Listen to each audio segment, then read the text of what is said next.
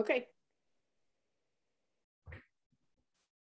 Okay. All right. Thanks everybody for um, uh, for coming on on a, a, nice, cool. If you're in the north, uh, a nice, cool Wednesday evening. Um, my name is Karen Tillotson, and uh, we're going to do a little bit of a review on on localization. Okay. So um, just in general, you know, when, when we're making a, a clinical diagnosis for our patients in neurology, um, there are a few steps that we go through. Um, one of those is first recognizing that there's a dysfunction and that, um, and that that dysfunction has an organic cause. Um, and then uh, we try to figure out, you know, where in the nervous system uh, this problem may be uh, arising from. Uh, and and then we kind of try to figure out based on the history and the presentation and the examination and where we think the problem is, um, whittling down our differentials to the most likely uh, potential etiologies. Uh, and then we use um, our diagnostic tests to determine what etiology is, is present. Um, you know, I, for those of us have been doing this for a while, um, we know from uh, clinical experience that um, you know 85% of the time if you do a really good history and you do a really good exam you you pretty much know what the person has. Uh, and if not you know definitively uh, within a few uh, diagnoses and the diagnostics can help uh, prove what we believe to be true or help us um, to, you know whittle down that differential even further. Um, so the part of this um, approach to clinical diagnosis that I'm going to focus on is the localization, right? And so localization is the, the diagnostic exercise of determining what site within the nervous system uh, has been affected uh, based on the signs and symptoms. And, and because I'm just focusing on the exam part of localization, uh, we're not going to talk too much about symptoms necessarily um, that you would get from the patient during your HPI, uh, but more what do we make, how do we make sense of what we see on, on the examination? So uh, there are two main keys to localization, and that is having a base of neuroanatomy knowledge and also being able to do an accurate and complete neurologic examination. Um, those are things that we should uh, focus on very early in our careers, uh, getting down because that's vital to our ability to, to, to evaluate patients and um, uh, determine what their issue might be.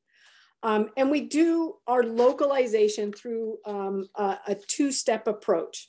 Um, type localization, uh, which is where we sort of um, bundle what we're seeing into um, a, a type of dysfunction, and then topographical localization, which is where we determine the anatomical location within the neuraxis or the nervous system, peripheral or central, um, where what area might be accounting for all their symptoms. So with um, type localization, one of the, one of the um, types uh, that we should be aware of is focal. Um, and this is exactly what it is, right? This is a single discrete uh, neuroanatomical locus uh, that can explain the patient's signs and symptoms. And, and, and in this MR picture, we can see uh, it's a little bit, it's a little bit hard to see, but we can see that there is just a single lesion here in the, in the cervical cord. Um, that would be a, a focal uh, uh, etiology um, as we consider localization. And then multifocal, right? So this is going to be more than one locus, but they are individually discrete. Um, and again, in this example, um, we can see a couple of metastatic lesions in different areas of the brain, which would potentially cause uh, different kinds of symptoms um, based on the structures they're, they're affecting. Um, uh, this is an example of metastasis, but another example of um, multifocal um, area, or excuse me, multifocal uh, localization uh, is like an embolic stroke, uh, where you're, again, you have distinct um, emboli affecting uh, discrete areas. Okay. Um, next is diffuse. Uh, and so this is going to be a more widespread dysfunction. Um, a good example and, and reflective of the picture is, um, is like a, a, diabetic peripheral neuropathy, stocking and glove um, neuropathy, where you know, bilateral and in generally the same locations, um, uh, dysfunction. And then lastly, one second, I lost my thing. Lastly, um, a specific system can be affected and that's going to have its own uh, signs and symptoms associated with it. Uh, and that can be uh, a particular pathway or neurotransmitter system. Uh, in these picture examples, this is actually uh, an MR of um, somebody with a a B12 deficiency. And so what you can see on the far left picture is the dorsal columns um, that are hyper intense here. And then you can sort of see that on the sagittal image that the, the dorsal aspect of the spinal cord is, is hyper intense. Um, so um, once you have an idea whether you're dealing with a focal issue or multifocal issue or a diffuse issue or a specific uh, system being affected, um, you also then want to think about the topographical uh, or you know topographical potential locations, right? And so um, those are, and I'm going to run, I'm going to run down this list um, real quick. So those are um, cortical, subcortical, uh, cerebellar, something in the brainstem, spinal cord, nerve root, um, plexus, either brachial plexus, lumbar plexus, peripheral nerve, uh, or the neuromuscular junction, or the muscle. And that is pretty much the gamut of where we might uh, see a neurologic um, structural um, abnormality or structural etiology. But I, I, would encourage you to think about, um, you know, when you have somebody with a particular symptom um, that you sort of kind of run through your brain um, right off the bat, what, what areas could explain that? So if you think about um, for instance, weakness, right? We think about all the structures in each one of these topographical areas. Weakness really could be a result of, an, of a lesion in just about any of these um, topographical regions, except for maybe the cerebellum.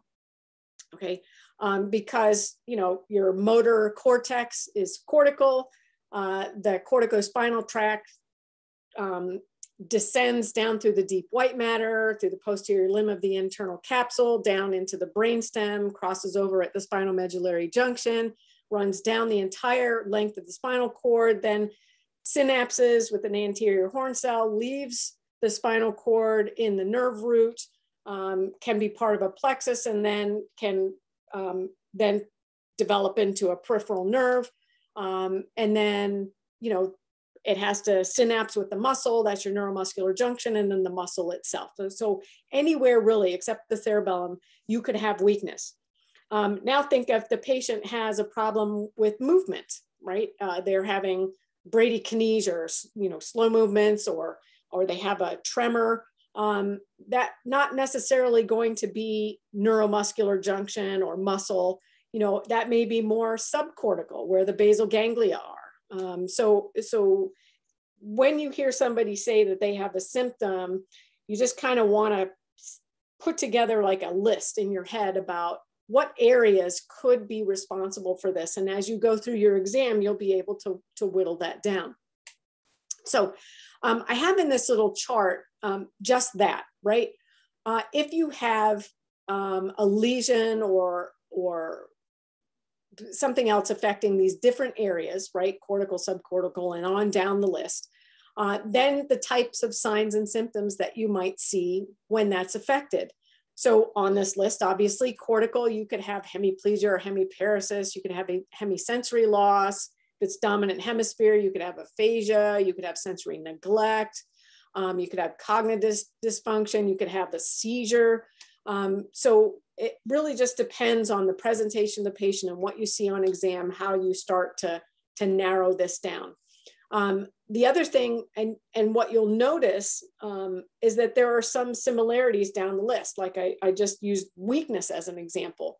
Um, you know, if somebody has a lesion in the cerebellum, that's going to present a little bit differently. Um, incoordination or ataxia, you could have a cerebellar tremor, you can have nystagmus, you can have an ataxic gait. Um, so it really just depends. And it's, it's important to be familiar with the underlying anatomy um, and recognizing the abnormalities that you see uh, on exam. So the other thing that I always like to, to get people uh, learning early on in their practice and their career is um, some rudimentary localizing features, right? Um, the easiest of that is the difference between upper motor neuron uh, dysfunction and lower motor neuron dysfunction. And, and just as a reminder, right, the upper motor neuron is your, is your motor neuron in the central nervous system. So uh, the neuronal cell body for, for the motor tract is in the cortex. And again, that, that the axon of that will descend down through the deep white matter, the posterior limb of the internal capsule, down the brainstem, crossover, uh, and then uh, synapse at its target uh, anterior horn cell.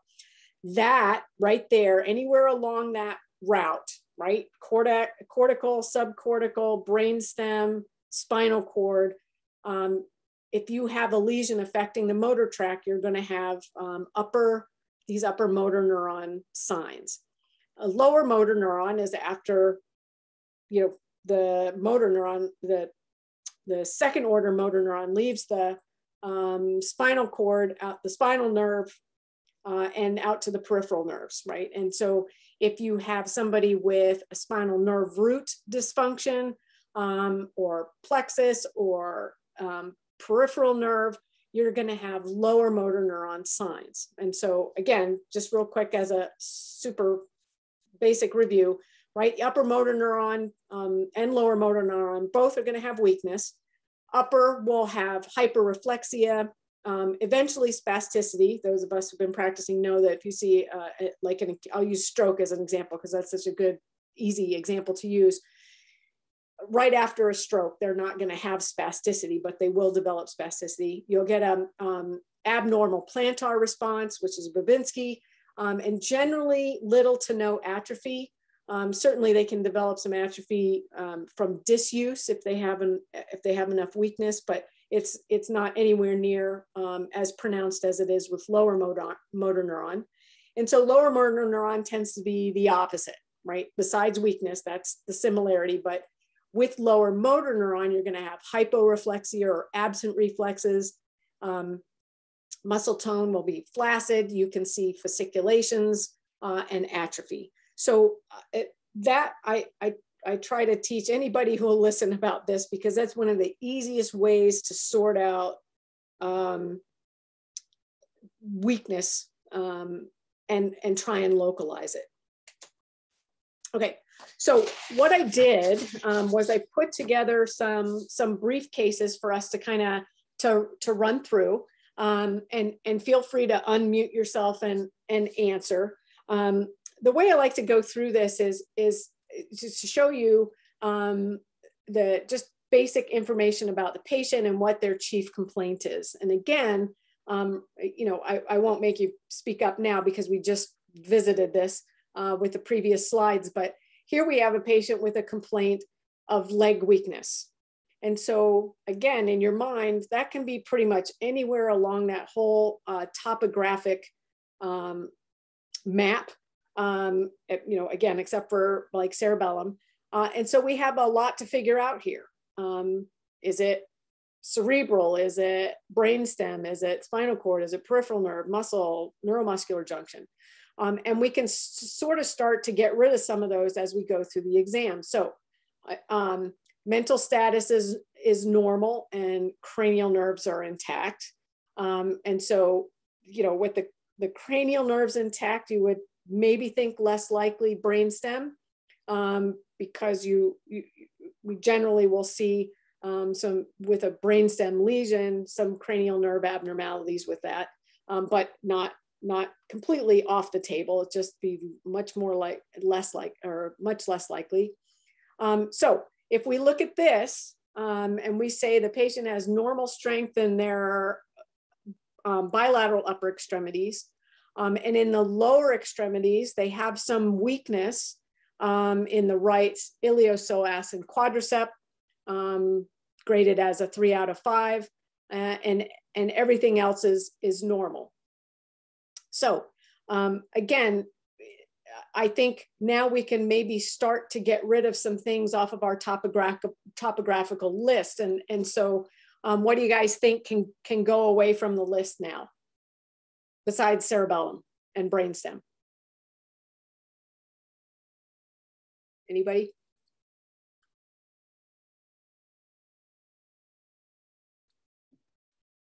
Well, I'll talk. um, I would imagine that, you know, if, if it's a right iliopsoas, so I mean, you really can't take out the cort cortex because it could be a stroke. You can't really take out the subcortical matter because a stroke can run through the tracks.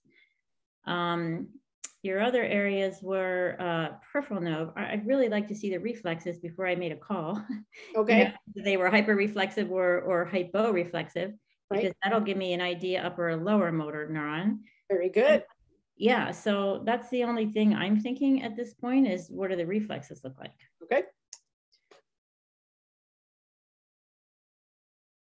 So our reflexes are normal in the upper extremities, um, one plus in the right patellar, and all the rest are normal, and plantar or plantar responses are downgoing. Yeah, so he's hyporeflexive. Um, and I would say then you would have to put it into a lower motor neuron. So maybe you can Yeah. knock out the cortex, subcortical region, brainstem region, uh, spinal cord region, I would assume. It looks really like it's a peripheral nerve problem. Yes, yes, exactly. Um, and, again, this is this is one of those uh, fun little cases where having a little bit of knowledge can help you uh, differentiate between a couple of things. But but to Sharon's point, um, you know, the thing that has really made the difference in her decision making is the whole: is it upper motor neuron or is it lower motor neuron? And that allows you to focus your your attention in a different area. And so this patient has um, some focal weakness, uh, just iliopsoas and quadricep, and a hypoactive um, patellar reflex um, on the right. A- and so um, we're thinking it's got to be what spinal root or peripheral nerve, right? Um, so what what um, spinal root is this? Anybody know off the top of your head? Is it, is it like L4? Yeah, L3, L4 would be the patellar reflex um, and quadricep for sure. Mhm. Four, you can remember that guys, L4 can't kick the door. Okay. so that lucked out on that one. that's a nice trick. Um, so yeah, um, now um, having a little bit more knowledge about the spinal nerve root innervations and peripheral nerve root innervations. So eh, the L3-4 um, is going to innervate um, the quadricep and the hip adductor. And this lady's hip adductor is normal. Um, so what peripheral nerve supplies the quad and, and potentially part of the patellar reflex?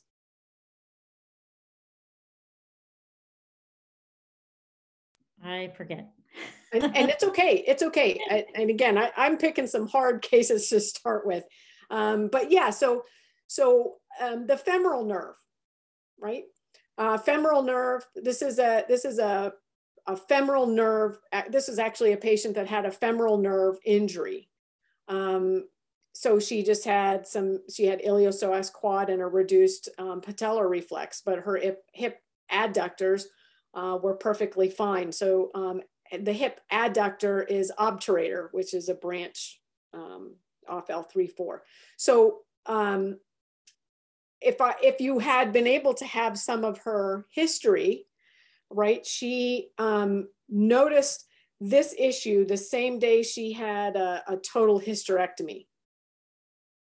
Um, and, and it's not the first time I've seen somebody to come out of a gynae surgery with a femoral neuropathy from like prolonged retraction and that kind of stuff. So um, again, the key lessons here in this particular case is one, that it's lower motor neuron, and then secondarily, um, telling the difference between spinal nerve root and, and a peripheral nerve, and that requires knowledge of, of innervations. So very good. And then of course there, um, I didn't get to, I didn't get to the sensory, but the sensory is consistent with a femoral um, nerve dysfunction as well, the anteromedial right thigh. Sharon gets a gold star for today. And the femoral nerve is huge. I should have at least stabbed at that one. Yeah, that's okay. I mean, the huge giant nerve in the leg. uh, yep, that's right. And so um, the cerebellar testing, so finger to nose, finger to finger was intact, but there was a little bit of incoordination on the right heel to shin. Um, and that is may not really cerebellar. So I really shouldn't call this cerebellar. I should call it coordination testing. Um, and that incoordination is more uh, due to the proximal muscle weakness than it is uh, an actual cerebellar ataxia. Okay, nice, very good. Okay, so here we go, right?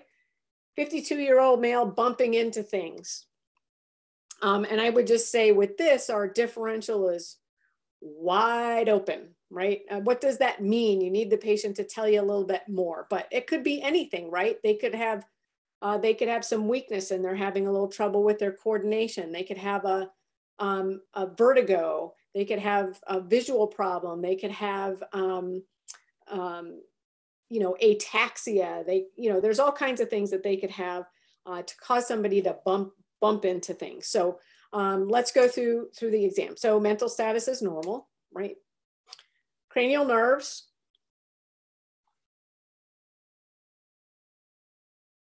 Yeah.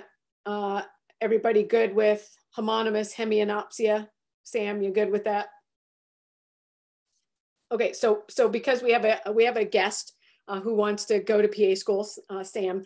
So a left homonymous hemianopsia is um, when somebody's missing missing half the visual fields to the left in both eyes. Okay. Homonymous meaning same left, same side. Um, okay. okay. So Anybody with any ideas how we can now get rid of our topography here?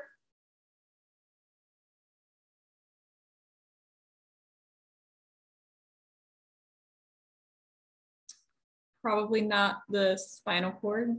Right, yeah, good for you. And not anything below the level of the spinal cord. We can just take yeah. that right off the table. Yeah. And and um how about brain stem?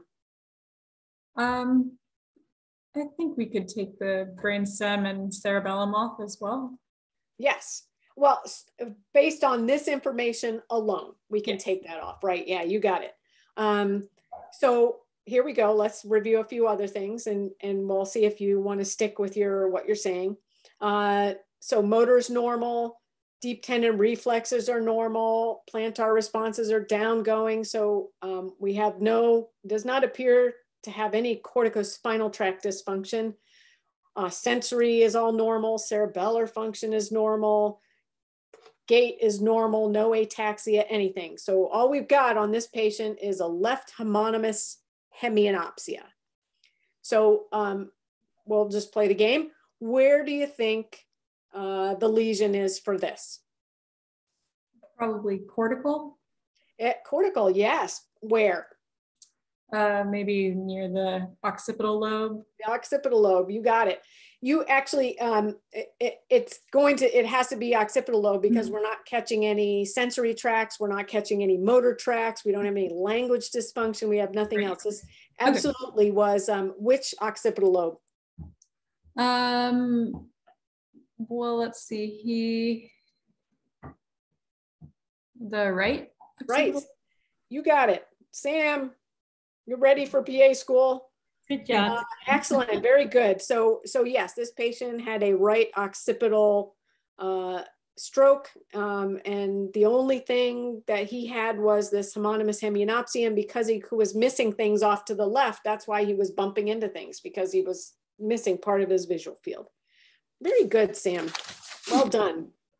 Okay, let's try another case. You guys holding up okay? Everybody good? Okay, all right. Um, so here we go, numbness in the left arm and leg. And again, this complaint um, could be a number of areas, right? We don't have enough information. We don't have the exam findings. So this could be anywhere from cortical to subcortical to brainstem. Um, uh, spinal cord maybe, but less likely. So here, here we go with our exam. We have uh, normal mental status, normal language function, normal speech articulation, normal cranial nerves, normal motor function, normal reflexes. So that kind of takes corticospinal tract out of the picture. Um, sensory function, we have uh, decreased touch, pain, and temperature in the left limbs, arm and leg. Um, and our differential really hasn't changed that much, um, although I think spinal cord is really even more or less likely now. Uh, cerebellar is intact, uh, and the, the gait is cautious. So uh, where might we be having this issue? Are we still happy with cortical? Um, I don't think so. I'm thinking maybe more in the peripheral, but um, I'm not sure I see anything that uh, strikes out cortical. Right.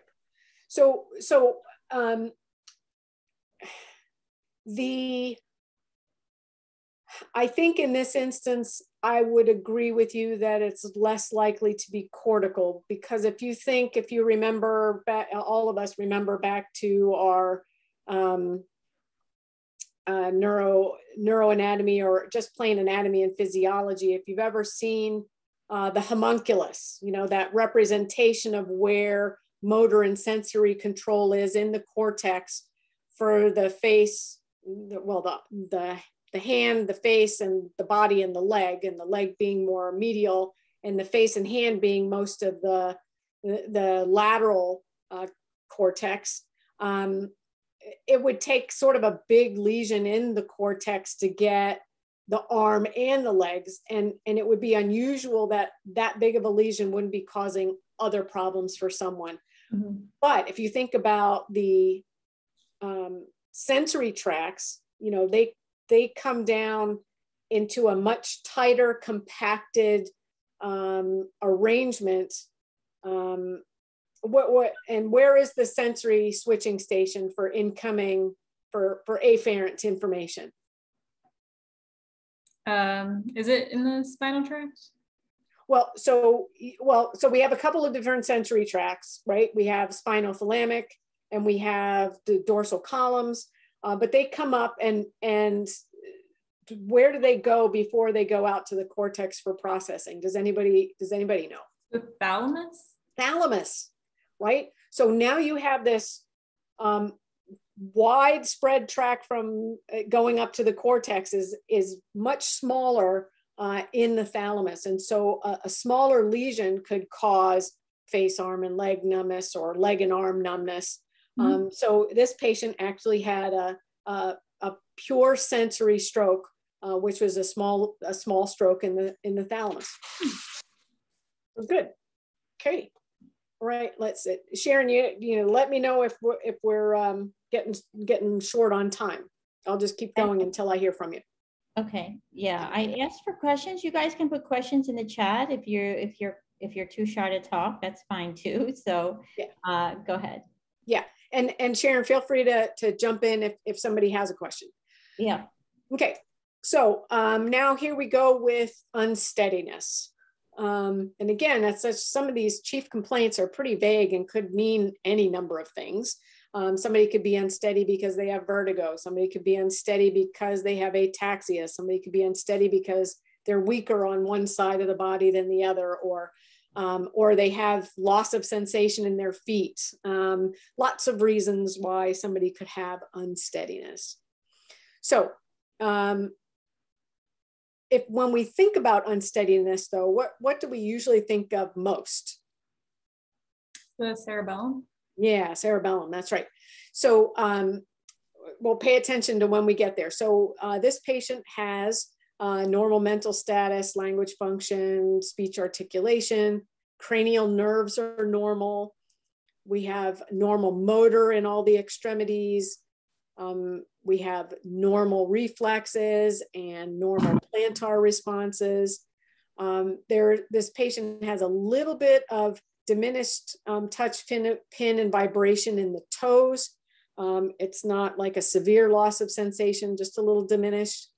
Um, and then on actual cerebellar testing or cerebellar slash coordination testing with finger to nose and finger to finger and heel to shin, that was intact. There didn't seem to be any appendicular ataxia, um, but on gait that was wide based and ataxic. So where do we think uh, the lesion along that topography might be here? Cortical? Um, I don't think it's cortical. Right, I agree. Subcortical? Um, I don't think we can actually, um, if the reflexes are intact, then we can probably rule out subcortical. Right. Yeah, if the re reflexes are normal, we probably can take cortical any anything near the corticospinal tract off the off the uh, table. Sure. How about brainstem? Um, I don't think we can take that off the table. Okay. Because of the um, sensory uh, symptoms. Okay. So if if I said that the the sensory loss is in both feet, mm -hmm. right? Um, that's probably going to be more of a peripheral thing than a central thing so I think we I think it's okay to to not blame the sensory stuff on the on the brainstem. Good. Okay. Okay. How about how about cerebellum? Um I'm not I don't I think we can take that off because the cerebellar tests were intact. Right. But the cerebellar testing was only for the arms and legs.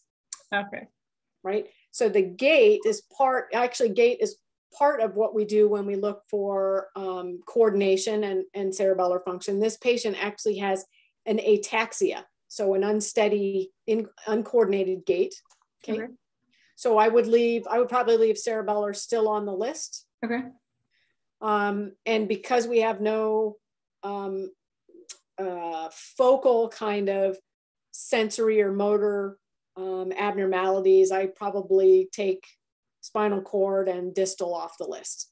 Hmm. Um, uh, this is a little bit of a, of a goof because I mix there, and this is a real patient. So that, um, it's confusing when you throw in the sensory abnormality there.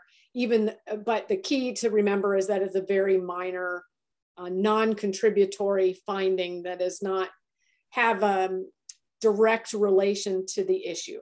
Okay. So, so as it turns out, this is a, a patient who has some dysfunction in the uh, rostral uh, vermis of the cerebellum, which tends to be more midline control. Mm-hmm. Um, and, and he has that, he is a long-standing alcoholic, um, which can cause cerebellar dysfunction and actually can cause um, an, an, alcoholic neuropathy. So it, mm-hmm. he might be having a little bit of a beginning of a, a peripheral neuropathy related related to that. But but this was tough because that sensory testing is sort of a red herring to the main issue this guy has. um, but good. Okay, good. Thinking through things. Um, okay. Add a little bit there, Karen, like for the yep. audience. Like the yes. first thing that popped, the first thing that popped out at me was this wide-based gait reminds me of a couple of things. One, like a peripheral neuropathy. Okay. Yes. Two, two, I'm always worried about a myelopathy, a cervical myelopathy. Yeah. In other words, the, the cervical cord is being compressed and that's what's causing that gait. So obviously the latter is much worse than the first. So I'd be really vigilant looking at the MRI, obviously in the cervical area first to get to get that off.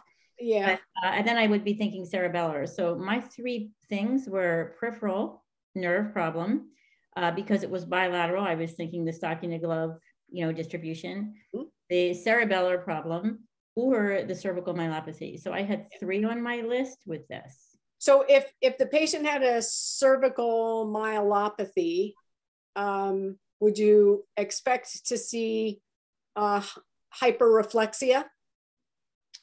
I would expect to see a hyporeflexia, I, I believe. No, no, hyper because it's still central. Yes. Mhm. Yes. Yeah, hyper. So the patient's the, the patient has normal reflexes, no clonus, no abnormal plantar responses.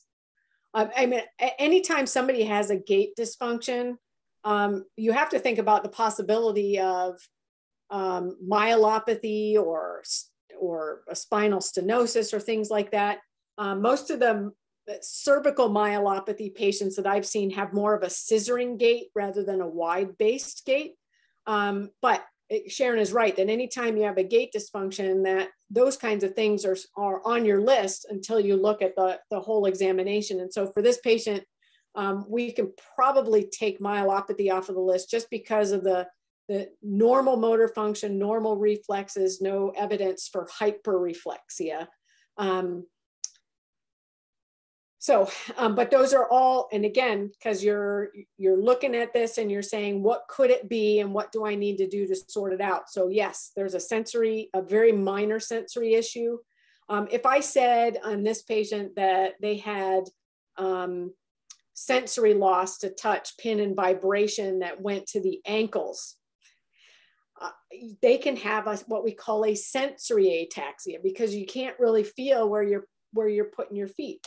Um, and we see that sometimes. So um, if this patient was to have worsening of his loss of sensation in the feet, um, that would just make his his ataxia worse because now he's got he's got cerebellar um, uh, ataxia, and then we put a sensory ataxia on top of it. That that would be the double whammy, and, and we've seen that sometimes with our with our alcoholic patients or those alcoholic patients that also happen to have diabetes. So um, very good. When you go into this um, exam, would you know that they are have a history of alcoholism before, and would that kind of um, influence your uh, exam process a little more than uh, just Um, the way we did it? Yeah, yeah. So, so that's a good question. What is missing from this exercise is all the information we would gather when we take the history of their present illness, right? So typically, when we when we see a patient with a complaint, we're starting uh, with why are you here today, and then you know making sure we know all about their past medical history, and we ask the social history questions like, do you smoke, do you drink, if so, how much, that kind of thing. Um, so yes, under normal circumstances, um, we might have a little better idea of what could be the problem based on the history. Uh, and then the exam helps us sort all that out, right? So then we put the two things together and then we have a really good idea and we can use, you know, uh, what any other testing to help kind of confirm what we think. Yeah, good.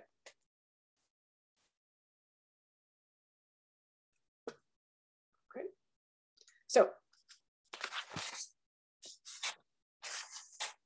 All right.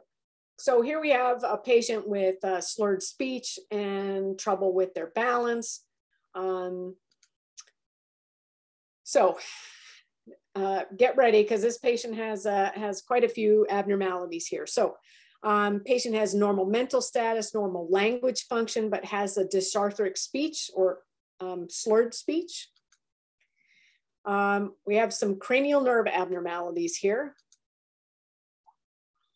um, a left miosis and ptosis, decreased pain and temperature in the left face, nystagmus, a decreased gag reflex on the left, and poor palate elevation on the left, and hoarseness and dysphagia.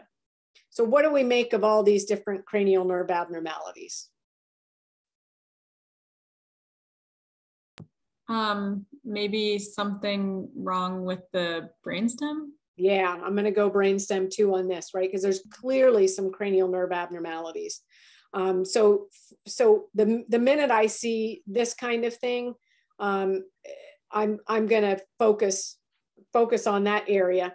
Um, I would say, you know, because I don't know the rest of the exam, I can't say if there's any evidence of other areas being affected because you know, we like to think that there's one lesion to explain everything that happens, but people can have, as I mentioned before early on, multifocal areas of uh, dysfunction. Um, so, um, but for this, I'm going to go with you on this for for for brainstem. Um, anybody want to take sort of a um, sort of a guess at which part of the brainstem is the likely location?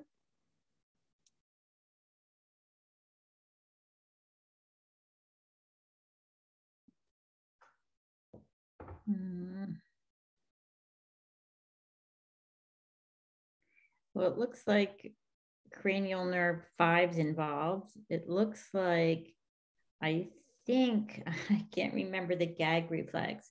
Yeah. Uh, Nine and 10. Yeah, nine and 10. Okay, so we're, so we're, oh, I'm, we're seven. We're seven, nine and 10, correct? Uh, so facial sensation is five. Five. Okay, so we're five, nine, and 10. So that's kind of a, a big area and I'm forgetting. So one and two, three, four. Are you at the mid, are you not at the mid range? You're at the uh, pons. Are you at the pons? Right. So, and again, you know, these cases are are kind of are kind of tricky. Um, this is a this is an uh, our most common um, brainstem um, stroke syndrome.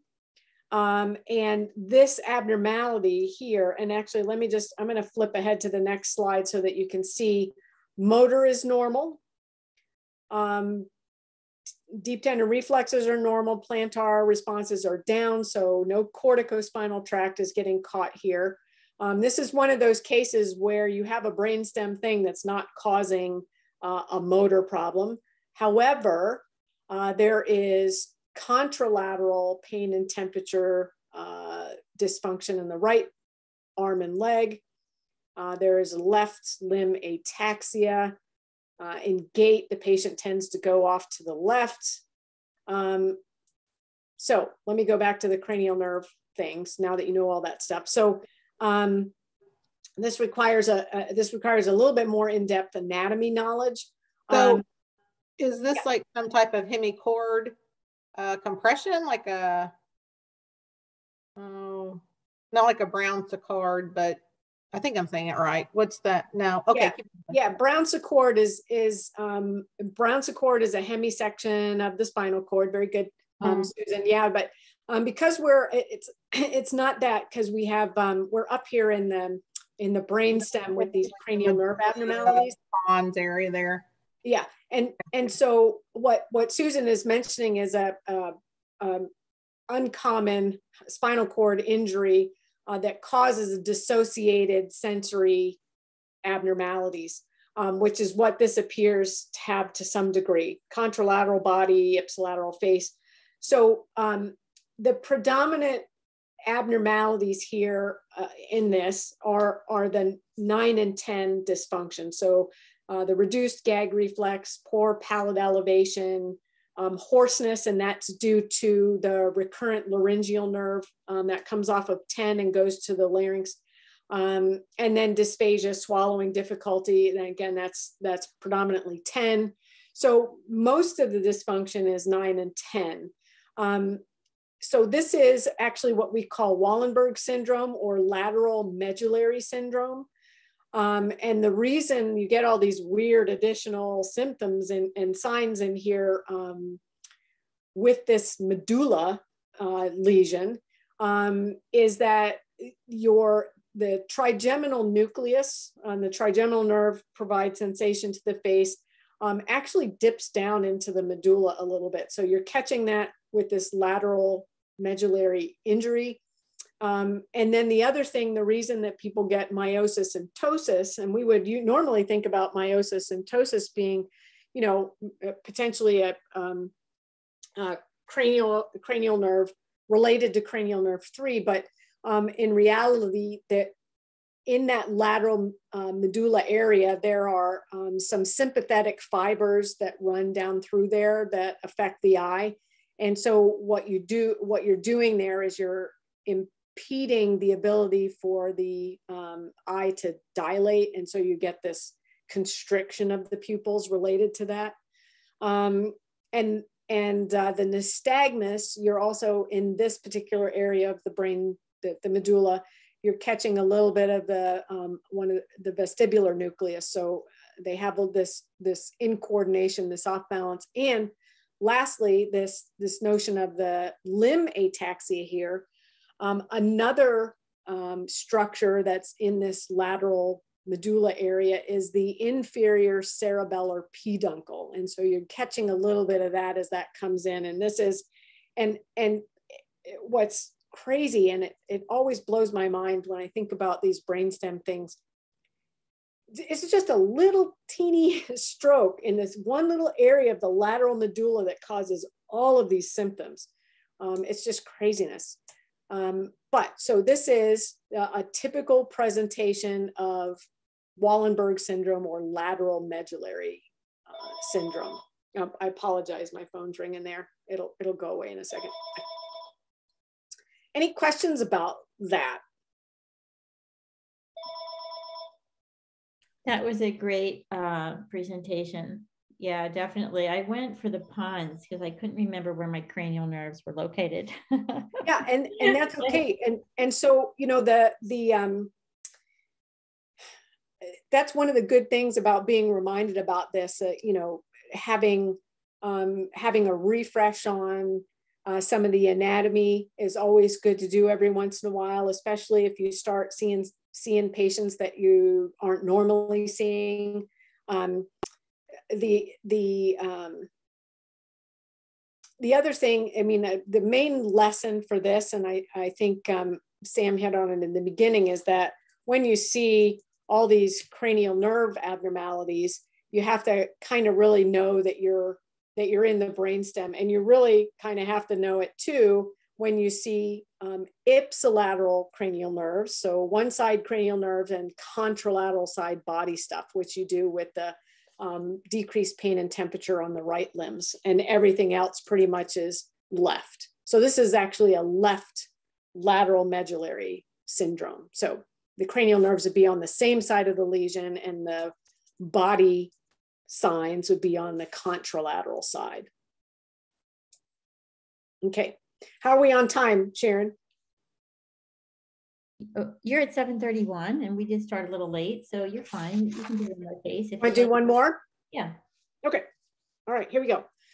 Um, I, uh, let's see, wait one second.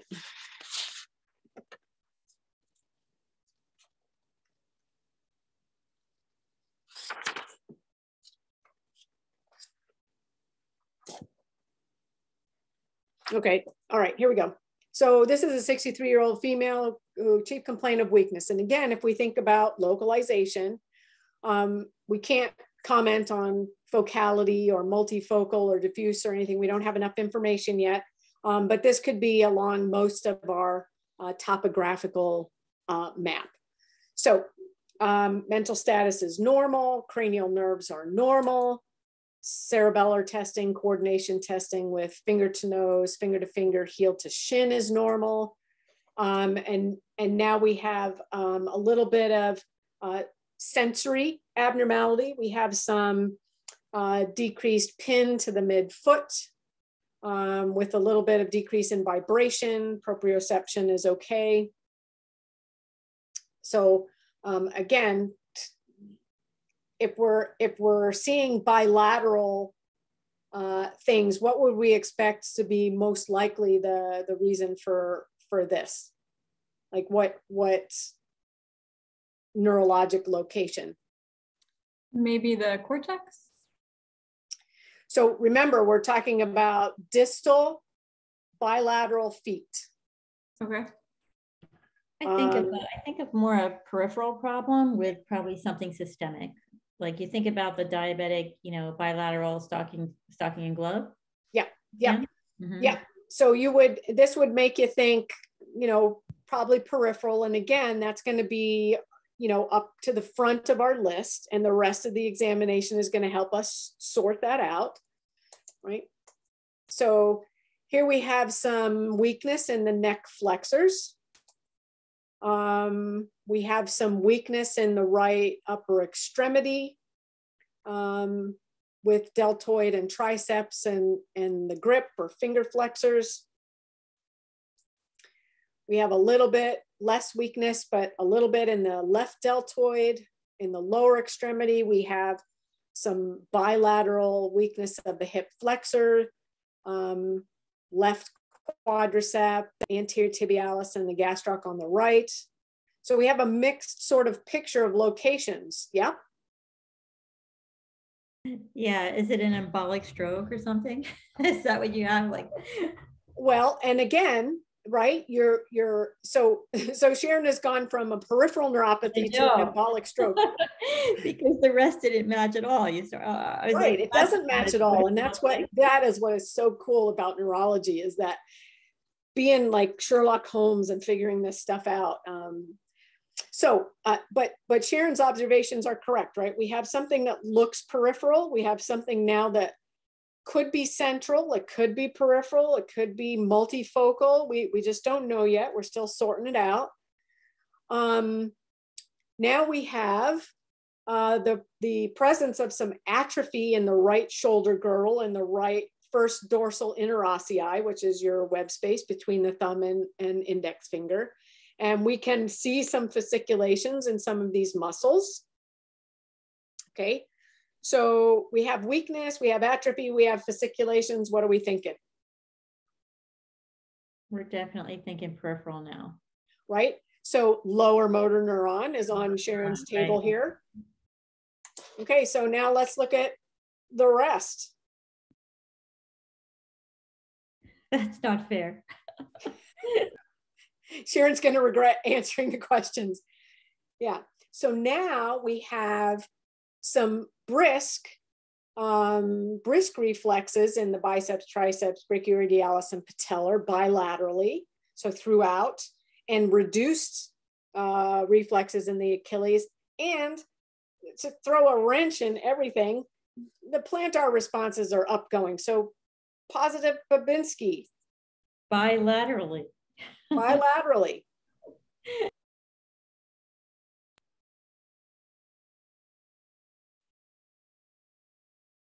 yeah, this is, I, I saved the worst ones for last. That, uh, that Wallenberg and this one are, are, are, are tough, but uh, again, it makes you, it makes you put your mind to work. So we have, we have something that sounds like a peripheral neuropathy a little bit. We have um, upper motor neuron signs and we have lower motor neuron signs mixed.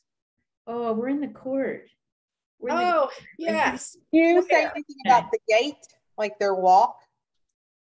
Uh, no, I don't, I don't, wait, hang on a second, this is seven. No, I didn't put anything in, in here about the gait, but how about if I just say that, um, um, let me look here. Um,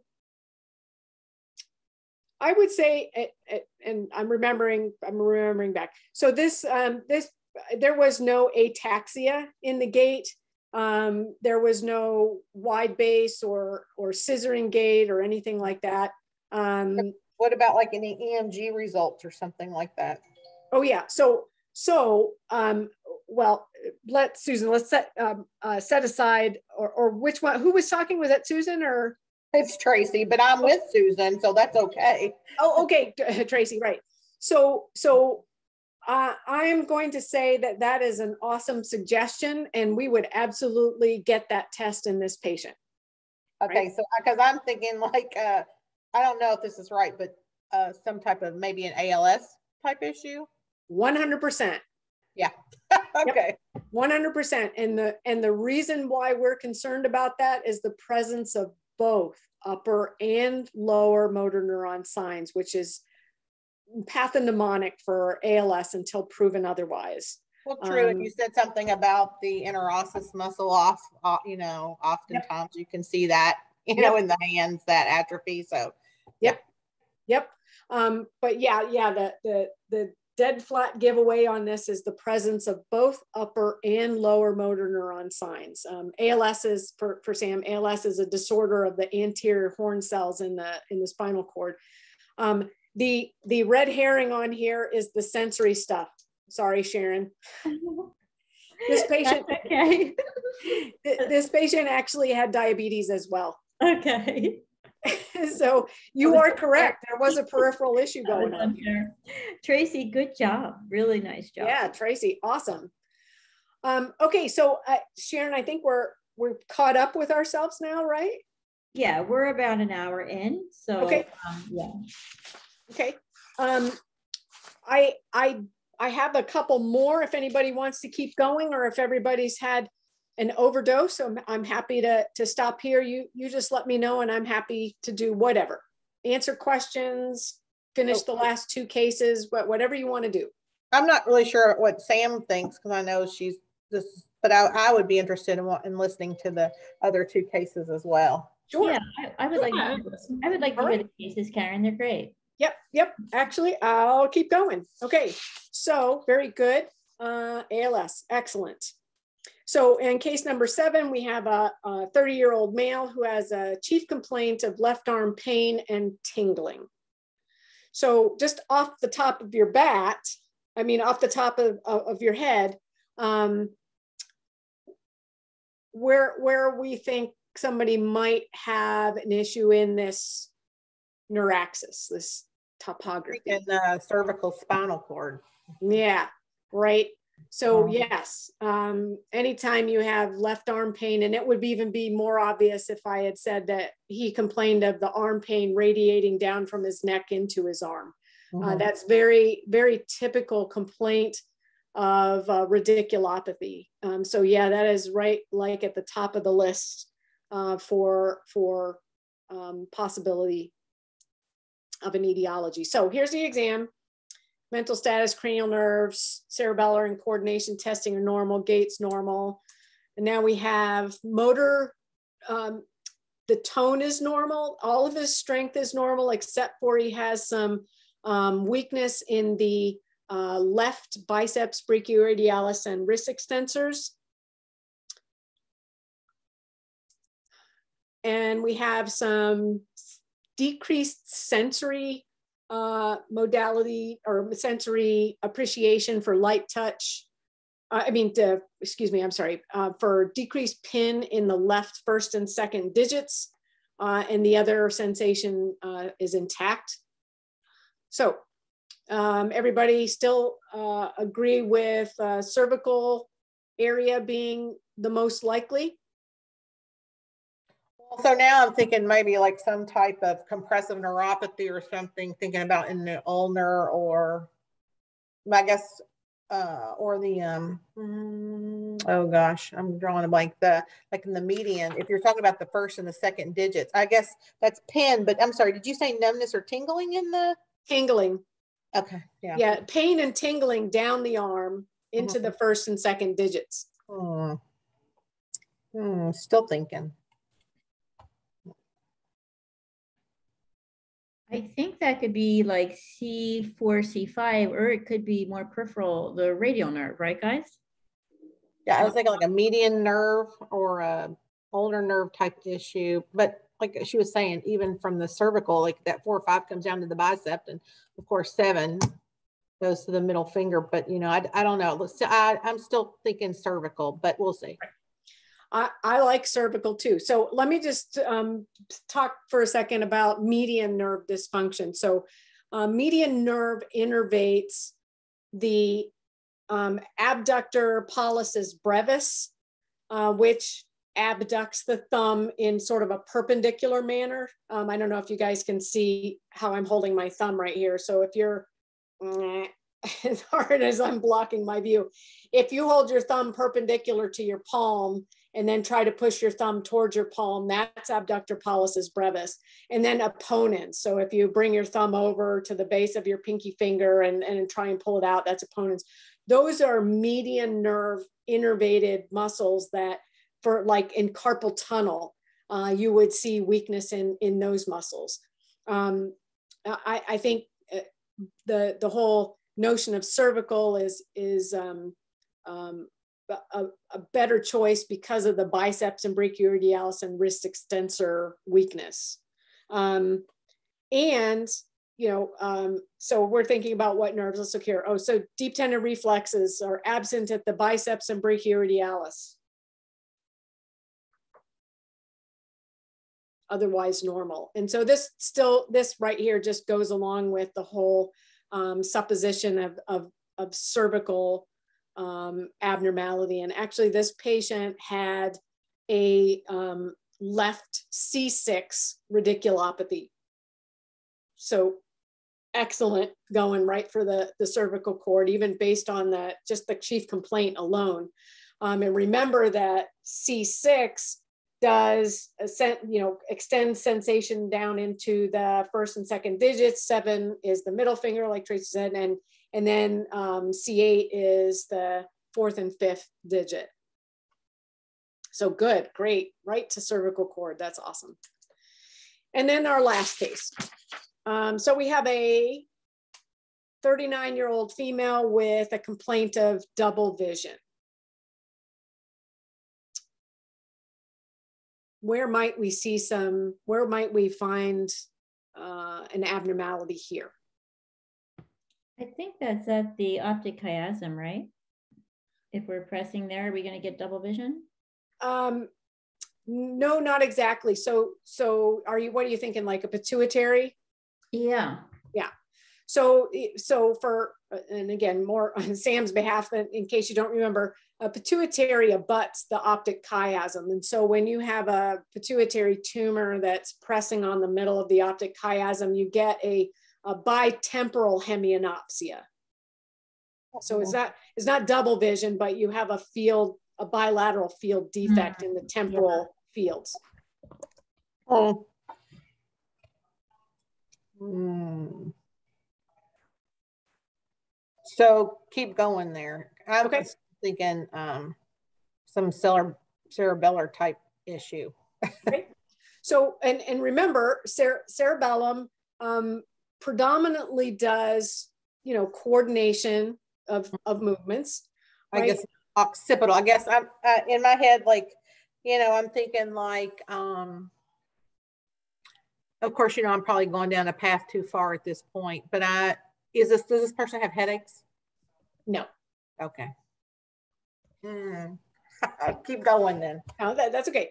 So, so again, for for for review benefit, um, your uh, our eyes move together in the at the same. Oh, it's the cranial nerve palsy. It's one of the cranial nerve palsies. Oh, okay. You're thinking like a third nerve cranial nerve, third nerve palsy, right? Is the double vision? I think so. Yeah, that's what well, it was. One eye open, both eyes. What's the what's the story? Okay, wait. you guys are so excited. I love it. Um, so wait, let me just finish about the the the binoculars, right? The eyes are uh, in alignment, and that allows us to see one vision, right? One image. Uh-huh. Um, if you took your binoculars, if you took a pair of binoculars and you had one binocular looking a little bit to the right and one looking straight ahead, and you look through uh, the glasses, you would see two, uh, two of something uh, mm-hmm. because the binoculars weren't lined up. And it's the same thing with our eyes. If they are not in conjugate alignment, um, we can see two of something. The, the exception to this particular rule is somebody who has esotropia or exotropia. They've just been living with a lazy eye, you know, mm-hmm. they don't see two. Um, but for someone who's had conjugate alignments forever and ever, and now all of a sudden they are disconjugate, uh, they will see two of something. And mm-hmm.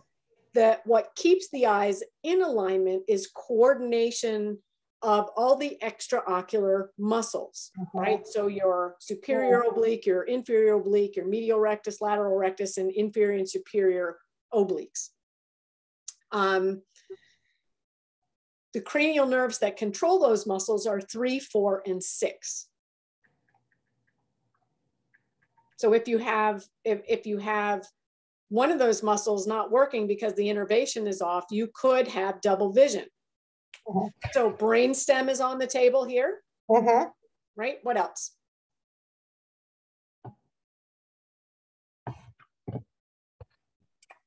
Um, I think cortex could still be on the table, the occipital lobe.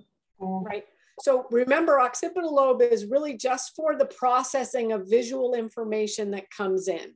generally, if there's an abnormality there, it's not, um, the result isn't double vision or diplopia. Okay. Okay. But uh, you're thinking about vision, so that's good. All right, well, let's keep going. Um, so. Oh, I'm sorry. Did you say it was monocular? Yeah. What what does double vision? I'm sorry. Did I miss the part? You said it was It, double vision with both eyes open. It would be with one eye, you know, it would be with one eye closed, right? So did you say that? Nope. Mm-mm. All No, right, you, you, uh, uh, if, if somebody has double vision Mhm. monocularly, that's probably going to be more of a refraction or a, or a, uh, what is the word? Um, help me, astigmatism Mhm, or, or a Okay. retinal thing, right? mhm. So I would say if she closed one eye or closed the other eye, there would be no double vision for her. Okay. So it's Yeah, I- binocular. I think she's cranial nerve three because I'm pretty sure the um the lid, the palpebral or something, the there's a cranial nerve that innervates that lid and lid and it's cranial nerve three, right? So she has Yep, that's correct. Cranial nerve three innervates the levator palpebrae, right? So if Uh-huh. you have a dysfunction there, you can have, you can have ptosis, sure, Mhm.